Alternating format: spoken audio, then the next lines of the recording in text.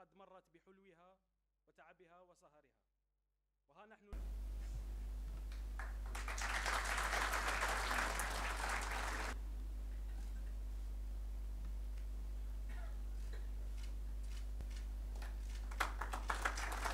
إن المدرسة الوطنية للإدارة ومن خلال الخمسين دفعة التي تخرجت منها قد كونت ما يزيد عن سبعة, سبعة آلاف إطار من إطارات الأمة على مدار 58 عام الماضية.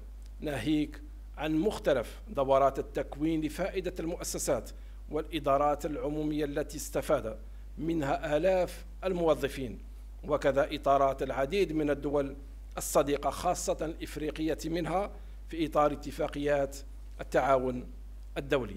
فإذا كانت السلطات العمومية قد جندت كل ما يلزم من إمكانيات وأؤكد كل ما يلزم من إمكانيات لتخريجكم في أحسن الظروف ولتحصلوا على المعارف والكفاءات اللازمة فقد حان الآن دوركم أنتم أن ترفعوا التحديات التي تنتظركم كرواد لعصرات الإدارة العمومية وحملة للقيم التي زرعتها فيها مدرستكم وأوفياء لمبادئ المرفق العمومي من أجل جزائر جديدة.